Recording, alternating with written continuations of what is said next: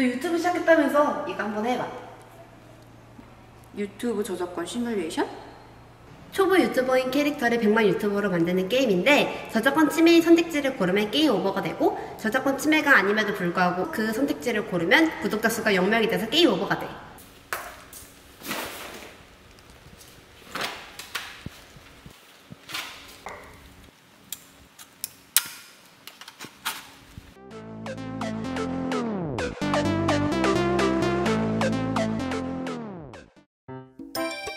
플레이하실 캐릭터를 선택해주세요.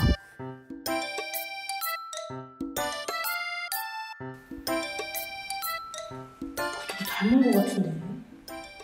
난 호기심 많은 여름이.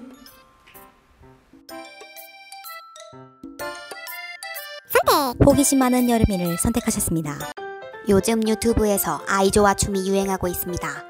호기심 많은 여름이는 구독자 수를 늘리기 위해 그 춤 전체를 쳐서 커버 영상을 올리고 그 영상으로 수익을 창출하고 싶어 합니다. 그냥 쳐도 되겠지 뭐. 커버 영상을 찍는 것을 선택하셨습니다.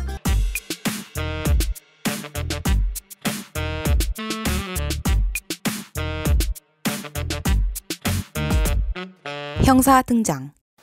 당신이 준 안무는 저작권의 보호를 받는 저작물입니다. 따라서 저작권법상의 제한 사유에 해당하지 않는 한 이 안무의 창작적인 표현을 이용할 때에는 저작권자인 안무가 혹은 저작재산권자에게 허락을 받아야 합니다. 당신은 이 과정을 생략하고 무단으로 이용함으로써 저작재산권을 침해하였습니다. 추가적으로 당신은 저작자인 안무가의 성명 표시를 하지 않았으므로 성명 표시권을 침해하였습니다. 그러므로 제보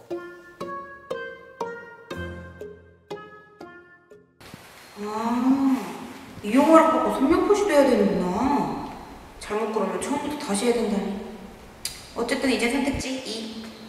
최근 유튜브 채널 썸머킴 TV에서 오이 당근 레몬 ASMR로 큰 인기를 끈 바 있습니다.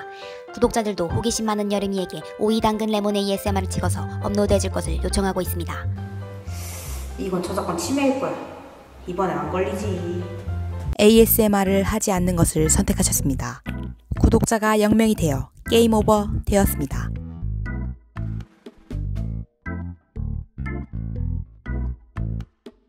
뭐야? 최수 먹는 ASMR은 저작권의 보호 대상이 되는 창작적인 표현이 아니라 누구나 이용할 수 있는 아이디어에 해당해서 마음대로 사용해도 된다고?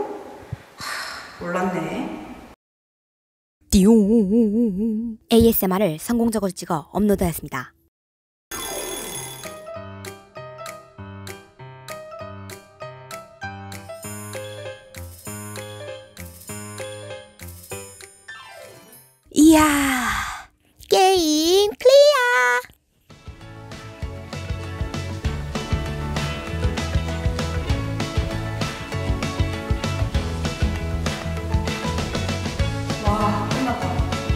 게임 해보니까 알겠네.